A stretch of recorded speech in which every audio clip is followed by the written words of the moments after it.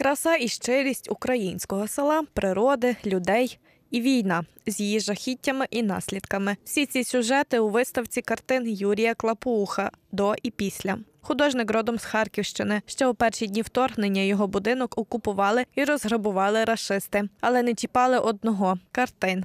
Я міг попасти туди тільки після того, як е, наші звільнили десь через два чи через три місяці, ну так вже не пам'ятаю.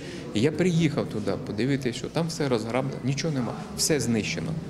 Тільки картини. Картини стоять так акуратненько, акуратненько складені, ні жодної царапинки, всі картини. Не знаю, може хтось там був такий, що розумів, все понищено, потрощено, двері по в подвір'ї валяються. В березні Юрій приїхав в село Залісці на Зборіщині. Тут на Тернопіллі писав вже інші картини воєнної тематики, здебільшого про військових і людей, чиї фото траплялися. кліч такий, як кинули, хто може. В соцсетях, там, Телеграм, там, Фейсбук, ходили, запитували, питали, можна ваше, ваше зображення, ваше фото. Всі дуже, дуже був так. Беріть, робіть, що хочете. Найбільше вражало, якщо мені приходилось писати картину е, воїна, який вже загинув.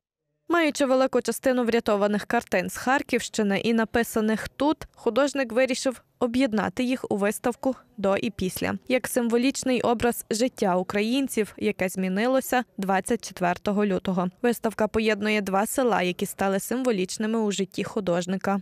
Моє дитинство і дитинство пройшло в селі, яке має назву Залізь, Залізьке. Це Черкас, Тальнуйський район, село Залізьке. А я зараз живу в Залістях.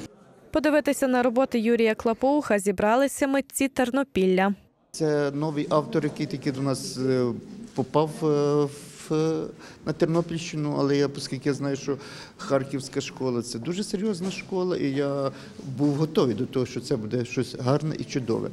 І дійсно я в захваті.